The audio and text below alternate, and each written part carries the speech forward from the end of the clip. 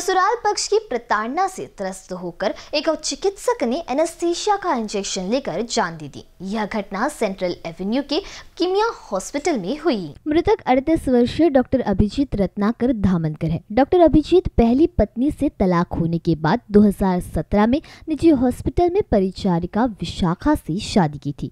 विशाखा से उसे एक साल का बेटा है। शादी के कुछ समय बाद से दोनों के रिश्तों में दरार आ गई थी। बताया जाता है कि दो दिन पहले डॉक्टर अभिजीत के खिलाफ प्रताड़ना तथा एट्रोसिटी का मामला दर्ज किया गया है। इसके बाद से वह काफ़ी व्यथित थी। डॉक्टर अभिजीत गुरुवार की रात किमिया हॉस्पिटल में ड्यूटी कर रहे थे। बताया जाता है कि रात करीब दो बजे डॉक्टर अभिजीत ने एनेस्थीसिया के लिए इस्तेमाल इंजेक्शन लगा लिया। इसके बाद बेहोश होकर गिर पड़े। चिकित्सकों ने उन्हें तत्काल वेंटिलेटर पर लगाकर उपचार आरंभ किया।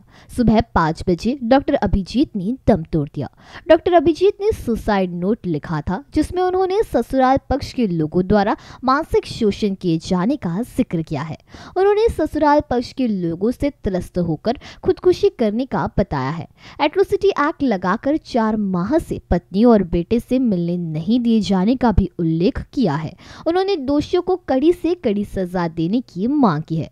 गणेशपेट पुलिस ने आकस्मिक मृत्यु का मामला दर्ज कर जाँच आरंभ की है। पोलीस स्टेशन गणेशपेठ हद्दीमध्ये अ, अग्रेसन चौक येथे किमया हॉस्पिटल आहे.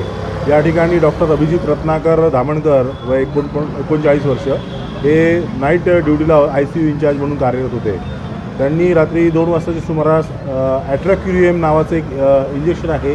ते इंजेक्शन सुन्नीकरिता देतात. तर ते इंजेक्शन त्यांनी त्यांना त्यांनी स्वतः आपल्याला लावून घेतले आणि आत्महत्या केली. तर त्यांची प्रकृती खराब झाल्याने त्याच त्याच हॉस्पिटलमध्ये त्यांना त्यांच्या सहकाऱ्यांनी ॲडमिट केलं सकाळी पाच वाजता त्यांपर्यंत ते उपचार करत होते आणि सकाळी पाच वाजता ते मरण पावलेले आहे मोबाईलमध्ये सु सुसाईड करण्याबाबतचं काही स्टेटस ठेवल्याबाबतची माहिती आम्हाला नाही परंतु त्यांनी आत्महत्या करण्याच्या पूर्वी त्यांनी एक सुसाईड नोट लिहिलेली आहे. त्या सुसाईड नोटमध्ये त्यांचा जो पारिवारिक त्यांना त्रास होता त्या पारिवारिक त्रासाबद्दल त्यांनी लिहिलेलं आहे आणि त्यासाठी काही लोकांना जबाबदार ठरावे असे त्या सुसाईड नोटमध्ये लिहिलेले आहे.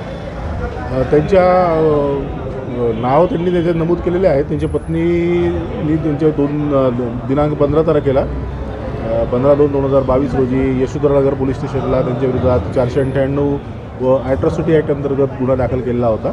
त्यामुळे ते मानसिक तणावात होते असं त्यांचं म्हणणं आहे. आणि त्या मानसिक तणावाखाली त्यांनी आत्महत्या केल्या असं नमूद केलेलं आहे. हा घरगुती कौटुंबिक वादाचं मानसिक तणाव होता त्यांना. त्याबाबत त्यांनी आत्महत्या केलेली आहे. कैमरा पर्सन अखिलेश भारद्वाज के साथ अभिषेक पान से बीसीएन न्यूज़ नागपुर।